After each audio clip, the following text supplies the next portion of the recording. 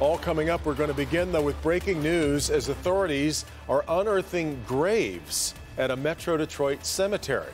Topping the news here at 5, the FBI and state police are digging up grave sites at Knollwood Cemetery in Canton Township. It's all connected to the search for missing people. This is a live look from Sky 4 over the scene now.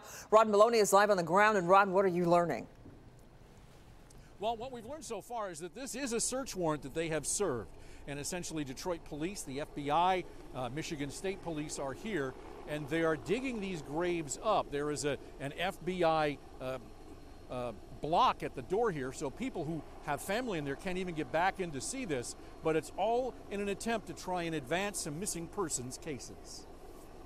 Investigators from the FBI Evidence Response Team, Michigan State Police, and Detroit Police, some wearing what appear to be hazmat suits, exhumed bodies from graves today. This is especially grisly work. They brought water pumps to get water from the grave sites, and after some exhumations, the technicians needed to be hosed down. This is a DPD operation, and the department even arranged for city digging equipment to get at these very basic tombs.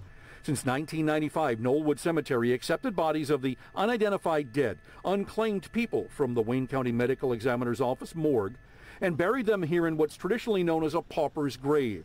Many of the bodies were buried in simple pine boxes and body bags without embalming.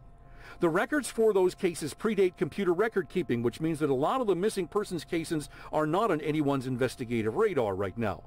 Evidence technicians went into these graves looking to collect bone DNA samples, first to confirm identification if they can. Second, with that DNA information, DPD believes that criminal cases, particularly homicides, can be solved.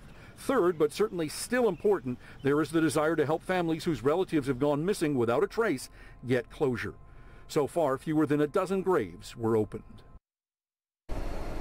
So here is the thing. There are a lot of families who have missing relatives who they've never heard from. People just left the house, never came back, particularly in the city of Detroit. And they might have even gone and filed a missing persons report with DPD. Well, a lot of these cases date back to before computer databases. And so a lot of these records are for these missing people are on paper somewhere in a warehouse. And so what they want is for Detroiters in particular to call Detroit homicide. We have the phone number there on clickondetroit.com. They also want you to look at a website that we're going to link there as well. Uh, because they want people to call and re-report their missing loved ones because they believe that it's very possible those people are here and they want to be able to make that connection. Reporting live in Canton, Rod Meloni, Local 4. Okay, Rod.